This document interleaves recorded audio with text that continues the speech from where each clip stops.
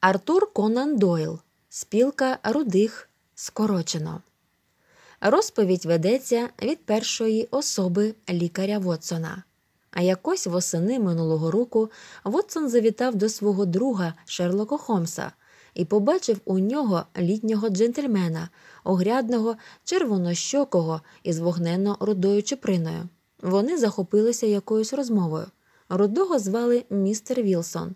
Холмс запросив Вотсона до розмови і, опустившись у крісло, склав руки одна до одної кінчиками пальців, як завжди, коли поронав у роздуми. Холмс сказав вислів, який не раз повторював. Найдивніші і найнеповторніші речі бувають пов'язані не з великими, а з малими злочинами, часом такими, коли навіть важко з певністю сказати, чи перед вами справді злочин. Він попросив містера Вілсона ще раз розповісти усе, щоб Вотсон був у курсі справи. Вілсон був звичайнісінький чоловік, товстий, бундючий і повільний. Нічого незвичайного у нього не було, крім вогненно родої чуприни і дуже засмученого виразу обличчя. Джейбес Вілсон показав Вотсону у своїй старій газеті якесь оголошення, а Вотсон прочитав Спілка рудих. В рахунок посмертного дару покійного Езекілія Гопкінса з Лебанова, штат Пенсільванія, США, відкрити ще одну вакансію, на яку має право член спілки. Платня 4 фунти на тиждень за суто номінальну службу. Кожний чоловік з рудою чуприною віком понад 21 рік, здоровий тілом і духом може бути прийнятий до спілки. Звертатись особисто в понеділок об 11 годині в контору спілки Фліт-стріт Попскорт 7. То була газета Morning Chronicle за число рівно два місяці тому. Джей Без Вілсон розповів, що має невеличку позичкову касу на майдані Кобург неподалік Сіті. Діло не дуже велике, і останніми роками він ледве заробляв собі на прожиття. Колись мав двох помічників, але зараз лише одного. Він згодився працювати за половину платні, аби вивчити справу. Звати помічника Вінсент Сполдінг. Він міг би влаштуватися набагато краще і заробляти вдвічі більше, але працює у Вінсента. Холмс сказав, що помічник ще більш незвичайне явище, ніж саме оголошення. Вілсон сказав, що помічник має ваду, багато фотографує, а тоді ховається в підвалі і проявляє знімки. Працює у Вілсона ще 14-річна дівчина, що варить їсти, як уміє, та прибирає. Ось і все, бо Вілсон вдівець, а дітей немає. Всі троє жили тихо під своїм дахом, а оголошення вибило їх із колії. Сьогодні минуло рівно вісім тижнів того дня, коли Сполдінг показав оголошення Вілсону. Вілсон рідко виходив з дому, тому не був у курсі справ у місті. Сполдінг розповів, що у спілці рудих є гарна вакансія на дві сотні фунтів на рік, адже її засновник, який уже помер, хотів допомагати усім рудим. Сполдінг порадив Вілсону піти до контори рудих. Вони зачинили касу і пішли. Виявилося, що оголошення зібрало багато рудих, але Сполдінг зауважував, що людей із справжніми живими вогненно-рудими чупринами було небагато. Друзі з зусиллями Сполдінга зуміли проштовхатися крізь потік людей і незабаром опинились у конторі. У конторі стояли тільки два стільці та сосновий стіл, за яким сидів маленький чоловічок, ще рудіший, ніж Вілсон. Він казав кожному претендентові кілька слів, і в кожному знаходив ваду, яка не дозволяла взяти його на роботу. Але Вілсона дуже легко прийняли на роботу. Чоловік, що приймав на роботу, підійшов до вікна і гукнув униз, що вакансію зайнято. Звідти долинуло розчароване зітхання, натовп швидко почав розходитись, і невдовзі всі руді голови зникли. Вілсон сказав, що має власну роботу, але йому повідомили, що робота у спілці рудих буде лише з 10 до 2 пополудні. Сполдінг запевнив, що чудово сам впорається в касі. Зарплата мала бути 4 фунти на тиждень, а робота просто бути в конторі або принаймні в будинку, де вона міститься весь час, і потрібно просто переписувати британську енциклопедію. Вілсон не міг повірити у своє щастя і запідозрював обман. Вінсент Сполдінг як міг підбадьорював Вілсона. Три тижні Вілсон переписував енциклопедію і отримував гроші. Чоловік, що перевіряв роботу, все рідше приходив перевіряти, чи Вілсон не покинув приміщення, адже це суворо заборонялося. Отак минуло вісім тижнів, а сьогодні вранці усе закінчилося. Вілсон прийшов на роботу, але двері були замкнені, і там було оголошення, що спілку рудих розпущено. Холмс і Вотсон розрехоталися, і Вілсон образився, але Холмс сказав, що дуже хоче зайнятися цією справою. Вілсон розповів, що пішов до хазяїна будинку, де був офіс спілки рудих, але той сказав, що про ніяку спілку рудих не чув і квартиру винаймав рудий Вільям Моріс, хоч цей рудий представився Вілсонові як Дункан Рос. Вілсон боявся, що за цей тиждень втратить 4 фунти. Холмс почав розпитувати про помічника Вілсона Вінсента Сполдінга. Вілсон розповів, що той працює у нього десь місяць, прийшов по оголошенню і згодився лише на половину платні.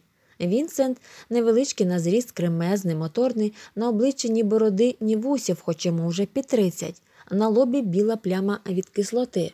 Холмс спитав, чи немає Вінсент сережок, і Вілсон сказав, що має. Холмс сказав, що найбільш химерні речі виявляються найменш таємничими. Він сказав, що куритиме і думатиме. Холмс скоцюрбився в кріслі, підтягши коліна аж до свого орлиного носа, застиг так, заплючивши очі, а його чорна глиняна люлька виструмилась уперед, наче дзьоб якогось дивного птаха. Вотсон же був подумав, що Холмс спить, та й собі законяв, коли раптом він схопився на ноги, як людина, що дійшла твердого висновку, і поклав люльку на камін. Холмс сказав, що сьогодні в Сент Джеймс Холі грає Сарасате, і під цю свою улюблену німецьку музику він хоче подумати. Тому Холмс і Вотсон відправились туди, але по дорозі заскочили до конторки Джейбеза Вілсона. Шерлок Холмс, схиливши голову на бік, зупинився перед позичковою касою, і його очі, оглядаючи її, яскраво блиснули з під примружених повік. Потім він повільно пройшовся вулицею, так само пильно вдивляючись у будинки. Нарешті, біля позичкової каси, він двічі чи тричі щосили вдарив по бруківці своєю палицею, далі підійшов до дверей і постукав. Двері відчинив жвавий, чисто поголений молодик і запросив Холмса війти. Але Холмс лише запитав дорогу на стренд і звернув увагу на коліна Вінсента. Холмс і Вотсон рушили Сакс-Кобург-сквер і зайшли за ріг. Тут була одна з основних артерій міста, що зв'язувала Сіті з його північною та південною половинами. Проїжджа частина була геть уся забита навантаженими хурами, що рухалися двома зустрічними потоками, а тротуари чорніли юрбами перехожих, які квапились у своїх справах. Дивлячись на шереги багатих крамниць і поважних ділових контор, важко було навіть уявити, що з другого їх боку притулився занехаяний забутий майдан, де була каса Вілсона. Холмс уважно розглянув і запам'ятав розташування будинків. Тютюнова крамниця Мортімера, газетна крамничка, Кобурська філія міського і приміського банків, далі вегетаріанський ресторан і каретні майстерні. Згодом друзі рушили слухати музику. Шерлок дуже любив музику і був не лише добрим виконавцем, але неабияким композитором. Вотсон не міг пізнати у другові детектива, бо той, коли слухав музику, мав лагідне, усміхнене обличчя, томливі замріяні очі. Після концерту Холмс сказав, що на Кобург сквері готується великий злочин, але друзі встигнуть перешкодити йому. Він сказав Вотсону взяти револьвер. Друзі розійшлися, а зустрітися мали сьогодні ввечері о 10-й. А Вотсон нічого ще не розумів і переживав через власну тупість. Ввечері друзі зустрілися на Бейкер-стріт. Біля під'їзду Холмсового помешкання стояли два кеби.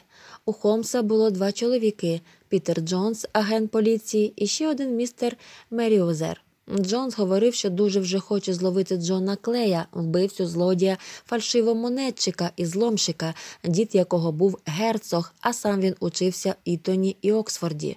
Мозок його такий же вправний, як і пальці. Одного тижня він здійснює крадіжку зі злому у Шотландії, іншого збирає гроші на будівництво дитячого притилку в Корнуелі. Уже кілька років Джонс ганяється за ним, а ще й не разу його не бачив. Двома кебами чоловіки вирушили на Фарінгтон-стріт. У кебі Холмс повідомив Вотсону, що Мерюезер – директор банку і особисто зацікавлений у сьогоднішній справі. Директор банку і Джонс їхали іншим кебом. Коли усі приїхали, директор повів друзів у свій банк. Чоловіки пройшли через багато дверей, поки опинилися у величезному чи то склепі, чи то підземелі, захаращеного великими і важкими ящиками. Холмс наказав поводитися тихо. Директор усівся на ящик, а Холмс опустився навколішки і з допомогою ліхтаря та збільшувального скла заходився ретельно вивчати щілини між плитами. Це забрало в нього кілька секунд, а тоді він підвівся і сховав скло в кишеню. Холмс пояснив Вотсону, що тут у ящиках зберігається французьке золото, і запас золотих зливків зараз набагато більше, ніж прийнято тримати в одному відділенні, і члени правління виявляють з цього приводу неабиякі побоювання. Детектив сказав, що десь за годину настане вирішальний момент, і у всій цій справі і усім слід зайняти потрібні місця. Він став за одним ящиком і сказав Вотсону стріляти, якщо злочинці стрілятимуть. Детектив вимкнув ліхтаря, і всі поринули в суцільну темряву. Проте в повітрі чути було запах гарячого металу, а це свідчило, що ліхтар горить і готовий спалахнути першої ліпшої миті. Холмс сказав, що злодії можуть втекти назад через будинок на Сакс Кобур Сквер, але Джон сказав, що зробив, як радив Холмс. Там уже є інспектор і двоє констеблів. Через годину з'явився проблик світла.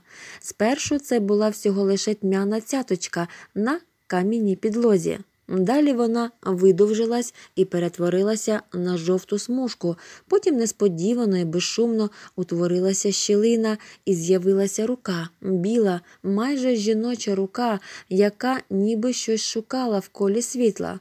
З різким скреготом одна з широких кам'яних плит відсунулась набік. Утворився широкий квадратний отвір, з якого заструменіло світло ліхтаря. Звідти визирнуло чисто виголене схвильоване обличчя. Чоловік витяг нагору свого спільника, теж маленького та гнучкого, з блідим обличчям і кучмою яскраво рудого волосся. Шлях вільний, прошепотів він. Ти взяв мішок і зубило. О, чорт, стрибай, Арчі, стрибай, а я їх затримаю. Шерлок Холмс рвонув уперед і вхопив Джона Клея за комір. Другий пірнув назад у нору. Джонс учепився йому в поли, але лише відірвав шматок піджака. Клей був спокійний і просив називати його сер, бо він герцогського роду, а на його спільника уже чекав інспектор. Директор банку сказав Холмсу, що навіть не знає, як дякувати. Детектив сказав, що має власні невеличкі рахунки з містером Джоном Клеєм. Зранку Холмс сидів з Вотсоном на Бейкер-стріт за склянкою віскі содовою.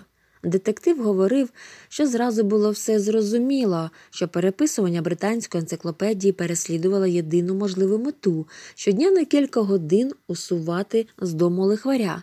Чотири фунти на тиждень це просто принада, на яку спіймався Вілсон. Та що вона важила для злодіїв, коли гра йшла на тисячі. Почувши про помічника, який найнявся у лихваря за половину платні, Холмс зразу збагнув, що в нього є на це поважні причини. Холмс пояснив, що коли стукав тоді палицею по бруківці, почув глухий звук, а коли питав дорогу у клея, побачив, що коліна його штанів зношені м'яті брудні. Вони свідчили про довгі години копання. Найзручніший день для злочинців був саме вчора. Субота давала їм два дні на втечу. Холм сказав, що цей випадок врятував його від нудьги, хоч вона знову наступає. Все моє життя безперервне зусилля врятуватися від банальної одноманітності існування. А от такі маленькі загадки допомагають мені в цьому, сказав Холмс і згадав рядки, які писав Юстав Флобер у листі до Жорж Санд. Людина ніщо, робота все.